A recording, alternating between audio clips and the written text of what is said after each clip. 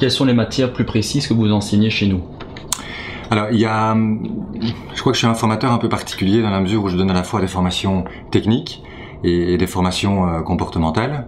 Euh, en gros, il y a quatre cours que je donne.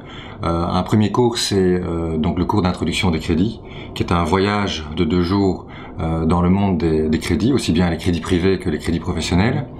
à côté de ça, je donne également le cours de communication assertive.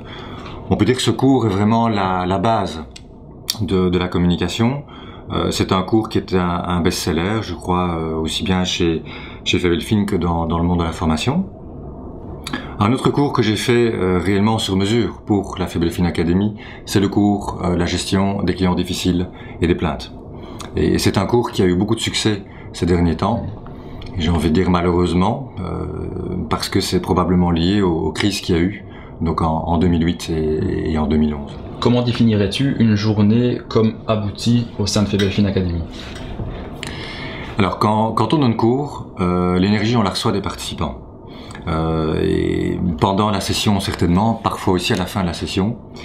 Euh, je vais dire en forme de boutade que pour moi, une journée de formation réussie, c'est celle où à 16h30, ni les participants, ni parfois le formateur n'ont encore regardé leur montre.